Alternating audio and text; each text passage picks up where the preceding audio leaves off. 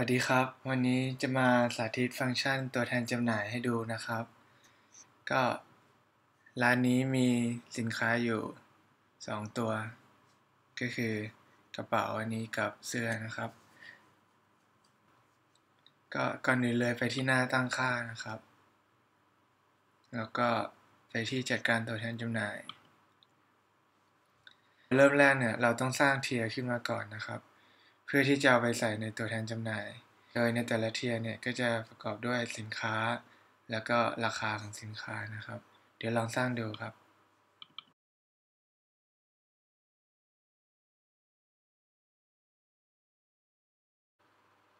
จากนั้นเราก็กดเพิ่มสินค้านะครับ แล้วก็ค้นหาสินค้า อันนี้คือราคาที่เราขายปีกอยู่ เราก็จะใส่ราคาที่เราจะขายให้กับตัวแทนจำหน่ายในเทียนี้นะครับ เช่น 500 บาท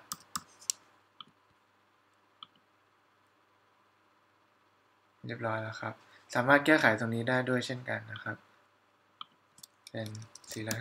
450 ก็แก้ไขตรงนี้ได้ครับ แล้วก็เพิ่มอีกสักตัวหนึ่ง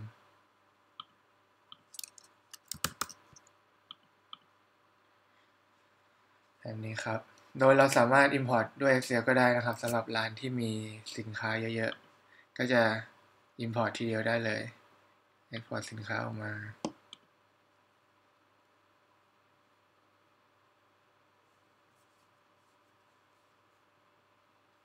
เนี่ยครับ เราก็จะเห็นราคาที่เราขายขายปีกอยู่ แล้วก็ใส่ราคาที่เราต้องการให้ตัวแทนจำหน่ายได้เลย แล้วก็กดเซฟ จากนั้นก็กดเลือกไฟล์แล้วก็ Import กับ เมื่อเราเพิ่มสินค้าลงในเทียเสร็จเรียบร้อยแล้ว เราก็จะมาสร้างตัวแทนจำหน่ายกันนะครับ ก่อนอื่นเลยก็ตั้งชื่อตัวแทนจำหน่าย แล้วก็ใส่ตัวแทนจำหน่ายลงในเทียถ้าถ้าเราไม่ใส่เทียให้ตัวแทนจำหน่ายนะครับ ก็เวลาเปิดออเดอร์เนี่ย ก็จะเป็นสินค้าทุกรายการเลย แล้วก็เหมือนเป็นแค่เปลี่ยนที่อยู่ผู้ส่งเฉยๆ ก็ถ้าเราใส่เทียเข้าไป ตัวแทนจำหน่ายก็จะสามารถเปิดออเดอร์เองได้ แล้วก็จะทราบจะเห็นเฉพาะสินค้าใน tier แล้วได้ต้นทุน คือราคาสินค้าที่เราขายให้เขาครับ อันนี้สามารถใส่อีเมลและ password ตั้งให้เขาเอามา login เพื่อสร้างออเดอร์เองได้นะครับ ทีนี้จะลองใส่ดู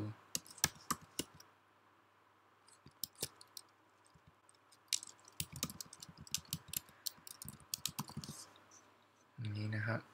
ที่อยู่ตรงนี้จะเป็นที่อยู่สำหรับใช้เป็นที่อยู่ผู้ส่งในใบเสร็จที่เราพิมพ์ให้ตัวแทนจำหน่าย แล้วก็ตรง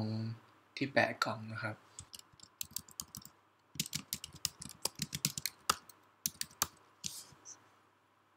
เราก็บันทึก จากนั้นเราก็ได้ตัวแทนจำหน่ายมาแล้ว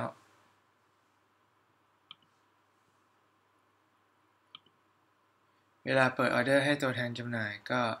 มาเลือกตรงนี้นะครับจำหน่ายโดยพี่ตุ้ม แล้วก็เพิ่มสินค้า ก็จะเห็นว่า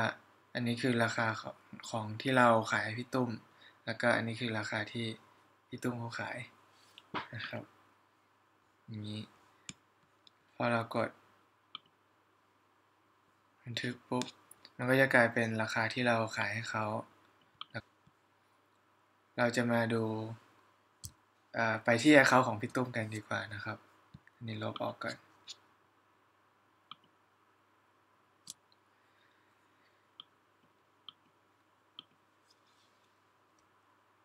ตะกี้ที่ทำให้ดูก็คือการสร้างออเดอร์ให้กับตัวแทนจำหน่าย จากร้านหลักนะครับ อันนี้คือต่อจากนี้คือจะทำให้ดูว่าพี่ตุ้มเนี่ยจะสร้างออเดอร์เองได้ยังไงบ้าง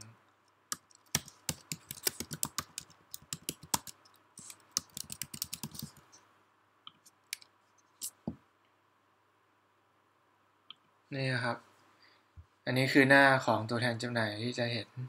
เขาก็จะมีหน้ารายงานสถิติเป็นของตัวเอง ประวัติของเขาที่ประวัติลูกค้าของเขา แล้วก็ ตั้งค่า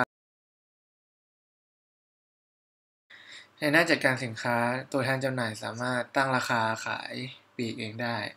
ของเขาเองครับ ก็เราสามารถถ้าเราไม่ต้องการให้เขาแก้ไขได้เราก็ปิดในหน้าตั้งค่าของเราเองได้นะครับ อันนี้สมมติพี่ตุ้มอยากขาย 650 บาท แล้วก็อันนี้ 450 ในหน้านี้เขาจะเห็นสต็อก สต็อก แล้วก็ยอดจอง แล้วก็ยอดคงเหลือ เป็นสต็อกของสินค้าของร้านเลยนะครับ แต่ว่า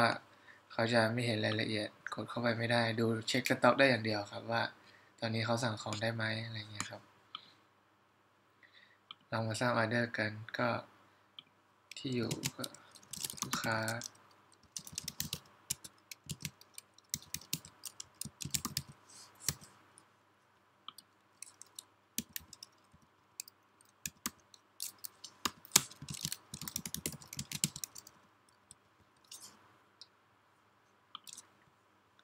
นี่ครับ อันนี้ก็คือราคาที่เขาตั้งเอาไว้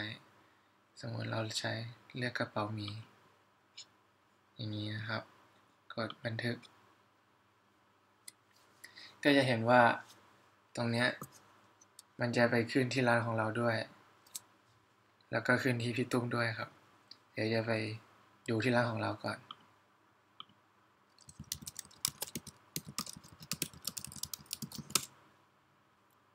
นี่นะครับ อันนี้คือออเดอร์ที่พี่ตุ้มเพิ่งเปิดไปตะกี้ มันจะมาขึ้นที่ร้านของเรา แล้วก็จะมาขึ้นอยู่ในยอดจองด้วยนะครับ ถ้าเขาแจ้งวันเงินมาเราจะมีให้กดยืนยันแล้วก็ปฏิเสธตรงนี้นะครับ อันนี้คือยอดขายของเรา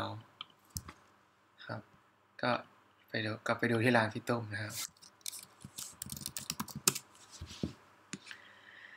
นี่ครับ พอพี่ตุ้ม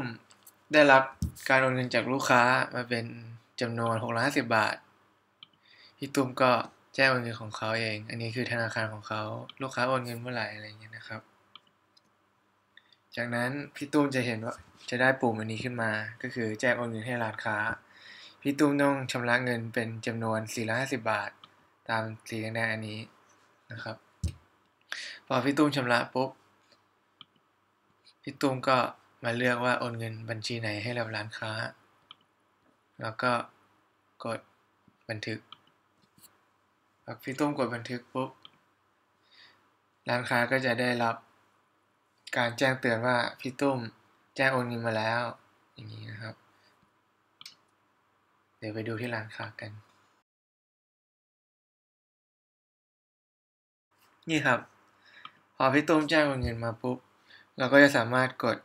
สองปุ่มนี้ได้ก็คือปฏิเสธหรือว่ายอมรับการโอนเงินของพี่ตุ้มครับ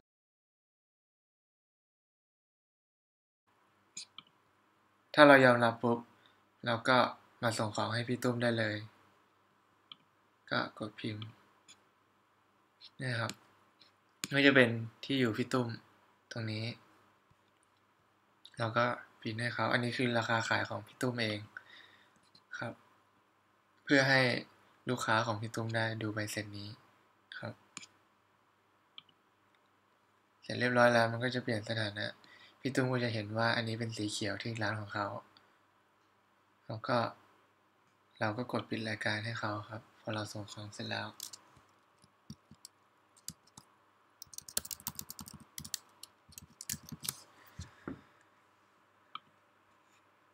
กดปิดปุ๊บ จะเห็นว่า นี่นะครับ อันนี้คือยอดขายของเราแล้วก็กำไรของเรา เออตะกี้ลืมบอกไป ที่พอพี่ตุ้มโอนเงินมาปุ๊บมันจะมาขึ้นตรงนี้นะครับ อยู่ข้างบนอันนี้ว่าพี่ตุ้มแจ้งโอนเงินแล้วอะไรเงี้ยครับ แล้วก็กดไปที่ออเดอร์นั้นได้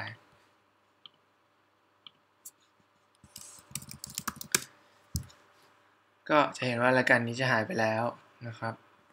ถ้าไปดูที่ประวัติของพี่ตุ้มก็จะเห็นว่า อ่า มันมีการ ส่งของไปแล้วนะ อะไรเงี้ยครับ เขาก็จะกดเอาอันนี้ไปให้ลูกค้าของเขาได้ครับ แล้วก็ที่รายงานสถิติของเขาก็จะเป็นกำไรของเขานะครับ แล้วก็ยอดขายของเขา